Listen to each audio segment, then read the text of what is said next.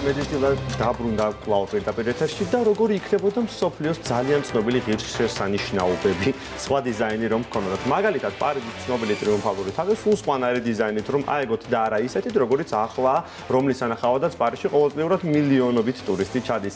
ან ვაშინგტონში აბრაამ ლინკოლნის მემორიალი სხვა არქიტექტორს რომ აეგო და არა ჰენრი ბეკონს. მოკლედ, ჩვენი ჟურნალისტი ქეთევან ბუდაყაშვილი დაინტერესდა ამ თემით, სხვადასხვა ქვეყნის არქივში მოიძია ცნობილი ნაგებობების ალტერნატიული დიზაინები, არქიტექტორების ჩანახატები და ის ახლა პირდაპირ ეთერში გვაჩვენებს განსხვავებებს ორიგინალსა და არსებულ ვერსიებს შორის. ქეთევან დილამშვიდობისა და გისმენთ. დილამშვიდობისა პირველ რიგში მინდა მოგიყვეთ როგორ აღმოვაჩინე რომ დღემდე არსებობს მსოფლიოს ცნობილი ღირსშესანიშნაობების სხვა დიზაინის ანუ ალტერნატიული დიზაინის ამსახველი ფოტომასალა და ჩანახატები. ჩემი პროფესიიდან გამომდინარე ხშირად ვათვალიერებ სხვადასხვა ქვეყნების ცნობილი ტელევიზიების გამოცემებს გვერდებს ინტერნეტში სამუზეუმო ექსპონატებს და ასე წავაწყდი ერთ-ერთ ეროვნულ არქივში დაცულ ჩანახატს რომელიც ეკუთვნის არქიტექტორ ჯონ რასელს. ჩანახატზე გამოსახული ამერიკის შეერთებული შტატების რიგიობით მე-16 პრეზიდენტის აბრაამ ლინკოლნის მემორიალი, თუმცა სულ სხვა დიზაინით. ზურა ნინო, თქვენ გეცნობათ ეს ჩანახატი? მე მაგალითად პირველად როდესაც ვნახე წარწერით ლინკოლნის მემორიალი, ხო, გეგონა ეგვიპტეში, ხო, ალბათ წარწერით ლინკოლნის მემორიალი, მივხვდი რომ ეს შენობა საერთოდ არ მეცნობოდა და ამიტომ მოვისურვა გადამოწმება, როგორ გამოიყურება დღეს ლინკოლნის მემორიალი. შემდეგ ჩავეძიე ინფორმაციას და ბევრი საინტერესო აღმოჩენა გავაკეთე. ბევრი რაღაც შეიცვლებოდა ალბათ მსოფლიოში ლინკოლნის მემორიალი მაგალითად მაგალითად ასეთი დიზაინით რომ აიგოთ მაგალითად არ ვიცით რა იქნებოდა გამოსახული მემორიალის დიზაინია დიახ ეს არის ჯონ რასელის დიზაინი ის ხედავდა პირამიდის ფორმით ქონდა წარმოდგენილი ალბათ ეს მემორიალი თუმცა მისი დიზაინი დაიწუნეს და ბოლოს გამოიმარჯვა ამერიკელი არქიტექტორის ჰენრი ბეკონის ნაგებობამ რომლითაც ლინკოლნის მემორიალი ის ახლა არის ცნობილი. შეგვიძლია ვნახოთ ის კადრები. ამერიკელმა არქიტექტორმა ბერძნული არქიტექტურით ინსპირირებული დიზაინი შექმნა 1900 12 წელს ეს არის სწორედ მშენებლობის კადრები ამ ნამუშევრისთვის ხოთაშორის გამარჯვებულმა არქიტექტორმა ამერიკის არქიტექტორთა ინსტიტუტის ოქროს მედალიც კი მოიპოვა. მემორიალი დგას ვაშინგტონში ნაციონალურ მოლზე, როგორც უკვე აღნიშნეთ, მას აქვს ბერძნული დორიული ტაძრის ფორმა. შიგნით მოთავსებულია ლინკოლნის ძალიან დიდი ქანდაკება, ხედავთ ახლა მას ეკრანზე და ხოთაშორის ამ ნაგებობას ათენის პართენონსაც კი ამსგავსებენ და ხშირად ამბობენ ხოლმე რომ ისინი არიან ტყუპებივით. დიახ. სხვათა შორის მემორიალი დგას 38 თეთრი მარმარილოს სვეტზე, ორი სვეტი მოთავსებულია შიგნით, რომელიც ერთგვარ შესასრულს ქმნის ქანდაკებასთან, დანარჩენი 36 კი აღნიშნავს ამერიკის შეერთებულ შტატებს, მაშინ როდესაც აბრაამ ლინკოლნი გარდაიცვალა, სწორედ 36 შტატს აერთიანებდა ამერიკა და სიმბოლურად ააგეს სწორედ ასეთი სახით ეს ნაგებობა.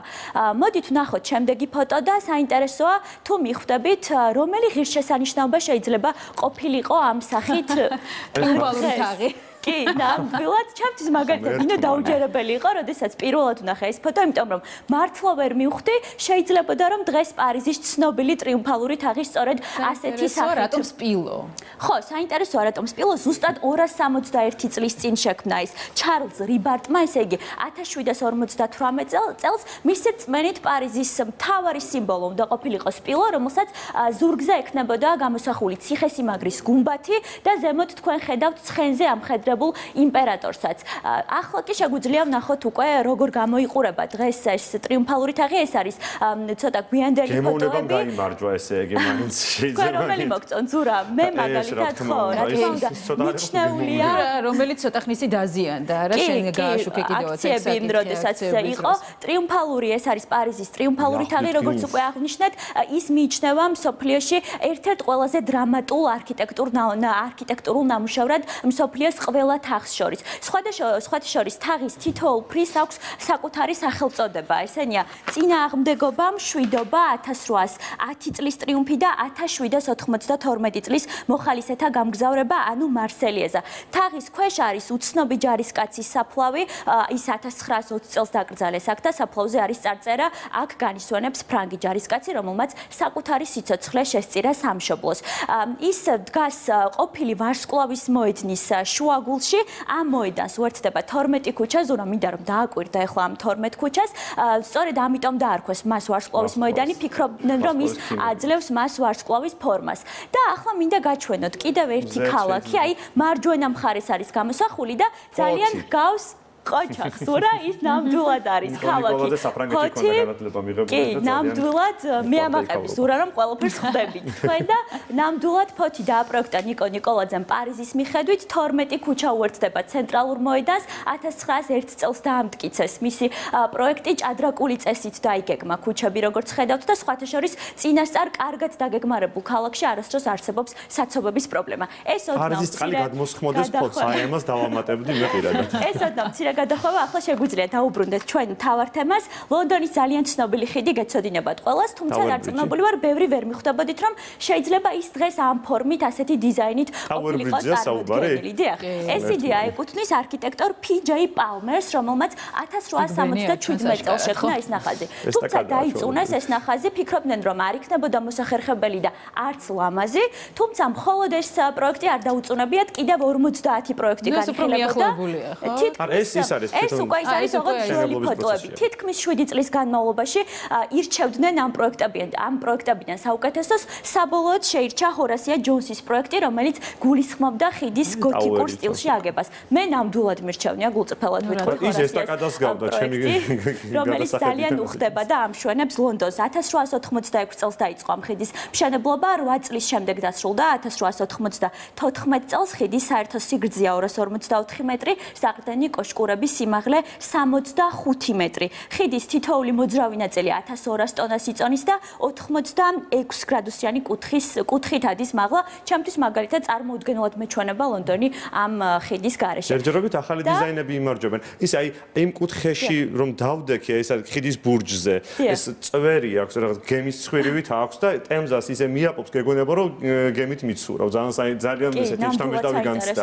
არქიტექტურა. შეგვიძლია რომ გადავიდეთ შემდეგ ფოტოზე ეს არის თუ მიხვდებით ზურა ეს არის საბჭოთა ნაგებობას უფრო გავს. მეორე გამოჩნდა უკვე სიდნეის ოპერა. სიდნეის ოპერის თეატრი და ის შეიძლებოდა ყოფილიყო სულაც ძალიან მოსაწყენი ნაგებობა, ჩემთვის მაგალითად საბჭოთა შენობას უფრო გავს მეორე ვარიანტი.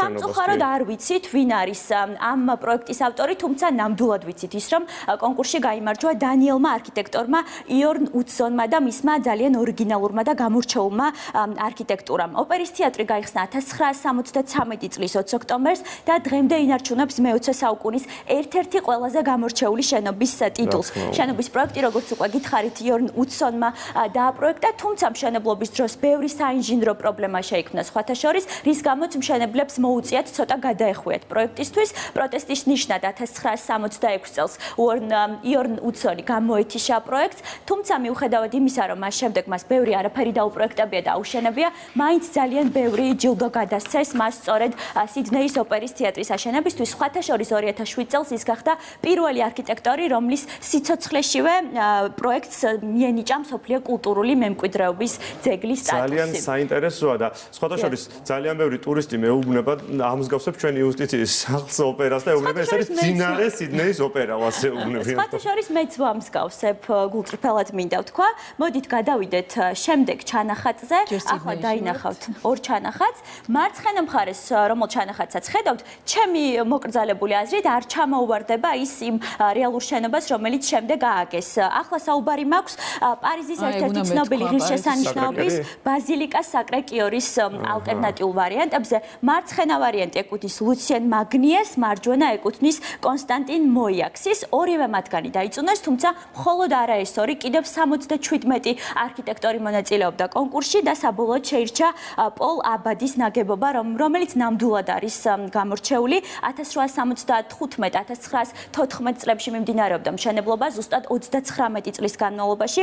ბაზილიკა საფრანგეთი პრუსიის ომში დაღუპული ჯარისკაცების ხსოვნის საპატივცემულო დააგეს. სხვათა შორის იქამდე ვიდრე შენობის მშენებლობას დაიწყებდნენ თურმე საძირკველში ჩააყოლეს ბრინჯაოს მედალიონი წარწერით საფრანგეთი ქრისტეს მონმარტის ბაზილიკას უძღვნის.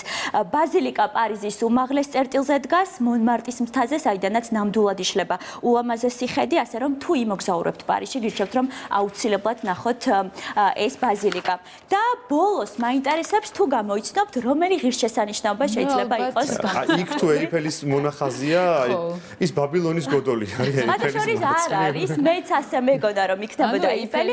ეს იმ პერიოდში იყო ლონდონის მხრიდან ალბათ ერთ-ერთი ყველაზე ამბიციური გადაწყვეტილება. მათ უნდათ რომ ქონოდათ საკუთარი ეიფელის კოშკი, მას უნდა რქმეოდა ლონდონის დიდი კოშკი, ის უნდა ყოფილიყო ეიფელის კოშკზე მაღალი 358 მეტრი, ნახეთ მცირე ნაწილი იყო აშენებული, თუმცა 1907 წელს ის დაანგრიეს, ვერ მოახერხეს აშენება და იფიქრეს რომ უკეთესი იქნებოდა ალბათ რომ სრულად გაენადგურებინათ. მე ვფიქრობ რომ თუნდაც რომ აეშენებინათ ეს კოშკი, ის კონკურენციას ვერ გაუწევდა ეიფელის კოშკს. ჩემთვის პირადად შეიძლება სუბიექტური აზრია, ის არის ერთადერთი პარიზის ყველაზე მაღალი სტრუქტურა და საფრანგეთის ყველაზე გამორჩეული სიმბოლო. ეს ეიფელის კოშკი. ეს არის უკვე ეიფელის კოშკის მშენებლობა, როგორც ეიფელი, კიდევ ხო, მაგრამ იქ რაც ნახეთ, ისეთი უხეში დეტალები. სხვა შორის, როდესაც ააშენეს, საზოგადოების მხრიდან იყო უარყოფითი დამოკიდებულება, ისინი ამბობდნენ, რატომ უნდა ვუყუროთ ამ კონსტრუქციას მთელი ცხოვრება და ერთ-ერთი სხვა შორის, ვინც აპროტესტებდა, იყო გიდე მოპასანი, ცნობილი თანამწერალი,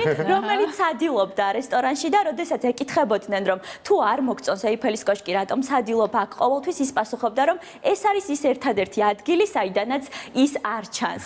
არ ვიცი, მე მგონი საინტერესო მიმოხილვა გამოგვივიდა და ბევრი ინფორმაცია მივაწოდეთ ჩვენს მაყურებელს. დიდი მადლობა ყურადღებისთვის. დიდი მადლობა ქეთუნე შენამ საინტერესო მიმოხილვისთვის. ბევრი რამ